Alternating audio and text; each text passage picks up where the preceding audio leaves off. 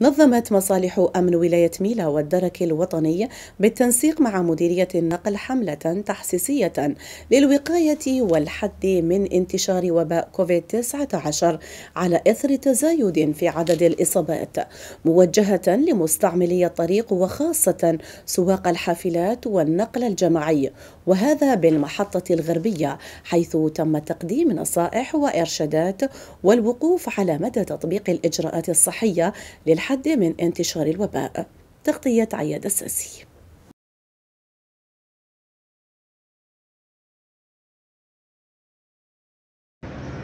ماشي السائق الهاوي هو السائق المحترف.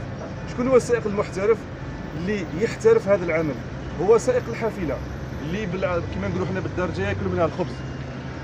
والإنسان اللي يحافظ على خبز وخبز ولاده اولا ويحافظ أيضا على سلامة الركاب وسلامه الناس اللي راهم اللي راهم كان لازم يحافظ. لك تعرفوا الوضع هذا اللي رانا فيه الأمور الوضع الصحي راه في بدا تكثر الإصابات وبدات الوفيات تكثر مش مستحسن باش نعاودوا نرجعوا للوضع اللي كنا فيه.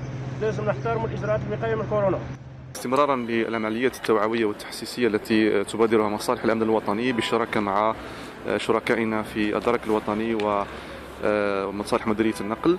اذا آه، نظمنا هذه الخرجة التوعوية التحسيسية لفائدة سواق الحافلات حافلات النقل آه، الجماعي للمسافرين هنا في مدينة ميلا وأيضا هناك عملية توعوية تحسيسية مماثلة في قطاعات آه، أخرى في الولاية. اذا نركز في هذه الخرجة التوعوية على التذكير بالإجراءات الاحترازية و التي التي تصب في مجال آه، الوقاية من انتشار فيروس كورونا وذلك بالنظر إلى الأرقام المتزايدة آه، والمسجلة آه، مؤخرا. وقفنا على عدة نقاط خاصة يعني في الأجواء الباردة يعني تكون الحافلات مغلقة إلى غير ذلك وما هذا النقاط اللي ركزنا عليها ويعني خاصة مع مع لا مبالاة يعني خاصة المستعملين سواء المستعملين تاع الحافلات ولا كذلك المستخدمين أو حتى الراكبين. وهذا من خلال التركيز على ارتداء الكمامات استعمال المعقمات وكذا التباعد الجسدي.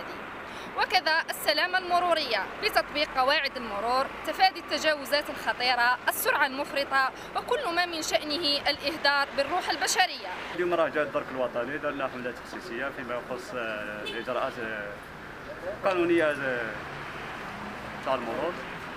ورانا ماخذين كل الإجراءات التعقيمية و...